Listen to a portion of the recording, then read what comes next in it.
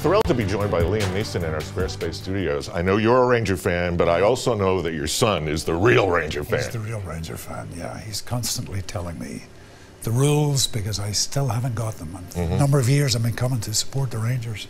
I still haven't quite got the rules down yet. But it doesn't stop me being a fan. Well, you have yet another new movie that's in theaters now called The Commuter.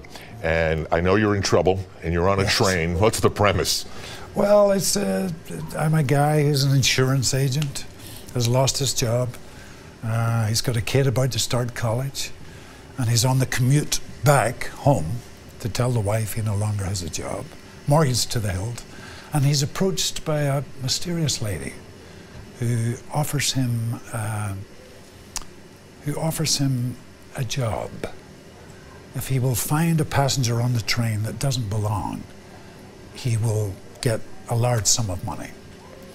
And he doesn't know the consequences. So he takes the challenge to find this person and uh, doesn't realize he's entered into a huge criminal conspiracy. How much time did you spend on a train to make it? Three months on one carriage in London, which is uh, a studio in London. Wow. I look forward to seeing it. What is it that draws you to hockey? My son, first right. and foremost.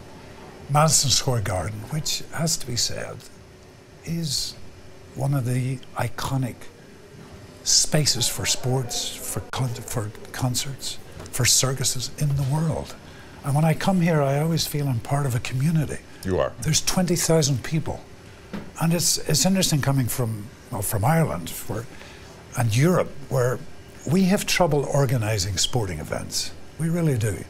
But you come to Madison Square Garden in the center of a city, 20,000 people come. The game's over, the concert's over, and suddenly 20,000 people disappear. It Happens every day, too. And it's fantastic. An honor to have you here. Great Thank to you. be here.